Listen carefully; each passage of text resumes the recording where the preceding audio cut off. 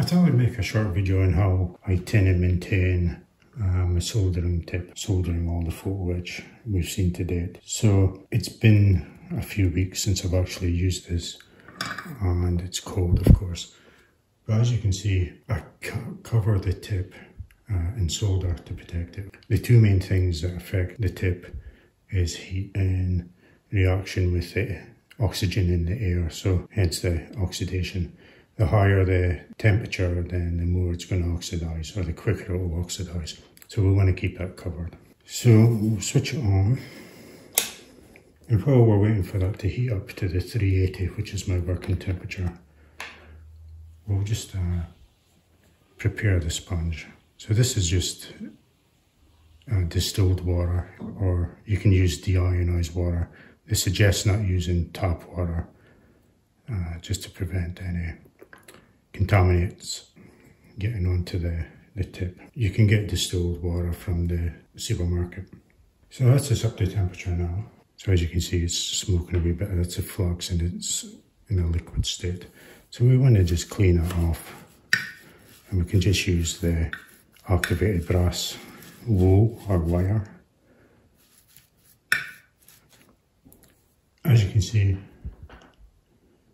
very shiny because it's got a coating of uh, solder on it now. So that's it kind of ready to use. However, for the small parts that we use, we don't want some of this solder transferring onto the, the photo etch. So what we do is we just clean it off on the, the sponge.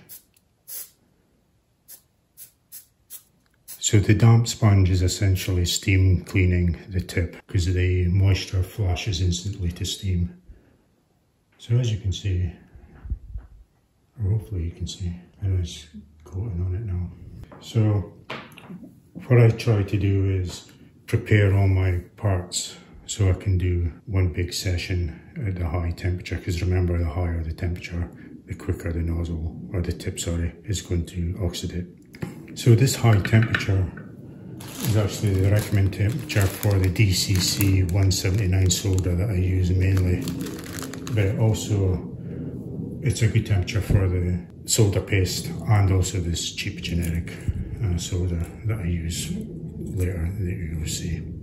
And then we'll look at the temperatures in a minute. So again, this is just how we cleaned it up just then. Before I use it, every time I give it a quick blast on the sponge.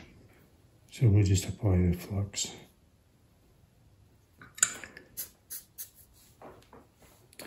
With the tip clean, it should just collect the solder off the, the wire quickly and easily and it sticks, it doesn't bead up or fall off. And then we can just apply it to the, the photo etch. So again, when I would come to my, do my next joint, there's a bit of solder left, I would just give it a quick clean again. Pick up some more and then do that part. Again, onto the next part, just give it a quick clean. So just keep blasting the, the tip with the, the sponge. The other instance is where we want to melt solder. It's already on the photo just by applying heat. So therefore we need to make sure there's nothing on the tip because if there was any beads on the tip, as soon as you touched it, it would transfer to the brass. And that's what we want to avoid. So I'll just put a little bead of solder on there. And there you go. Again, it's picked some up, we just clean it off. And then we go into the next part. So it's getting into the habit of just giving a, touch on the sponge before you do your next soldering activity. Okay. Now, again, because the heat oxidizes the tip, what I like to do if I'm going to be working on something but not soldering, if you can, you can reduce the temperature.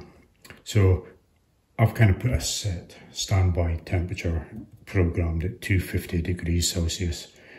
And that just reduces the tip temperature so while I'm working on something else, the tips cool down a bit to reduce the, the temperature. So as you can see, it slowly comes down, but it's ready. So when I'm ready to solder again, I can just put it back up to my working 380 degrees. if I was going to still be soldering, but it was going to take a bit of time before I was going to use it again, I may set it down to the lower 250, but I might also coat the, the tip as well.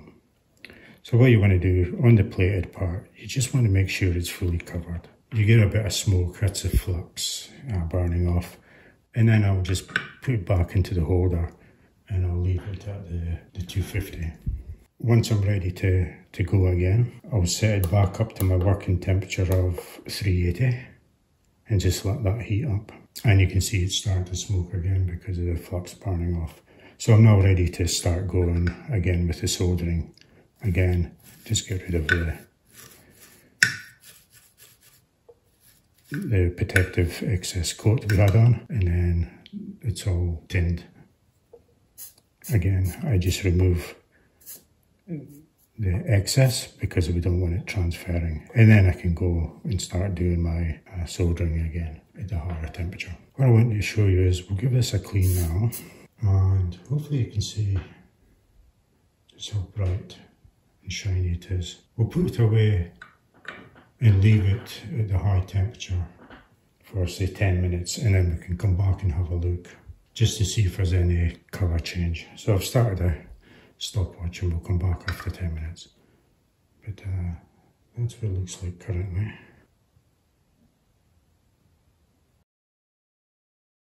Okay, so that's been sitting at the high temperature for 10 minutes now. And I'm not sure if you can see, but it's certainly dulled down changed colour a wee bit. So oxidation has started. But to continue again, as always, just give it a clean. And it's brightened up again. So it should be ready to use. Yep. Okay. So that's really essential, essentials or the basics that I use. I'm not saying it's uh, the correct way, the only way, the best way, but this is what I do and it, it works for me. The Eventually the plating on the tip will wear off, but if you keep it clean and keep it covered and keep the temperature high only when you're using it, then you should be able to extend the life of the tip. So now that we're finished, we're soldering again, we'll just come in, we'll cover the all the plated area. I like to just move it about just so it flows all around. Now you can either reduce the temperature because you're going to come back shortly or if you're finished just put it into its holder and then we'll, we'll switch off. I hope that helps uh, answer any questions anyone has.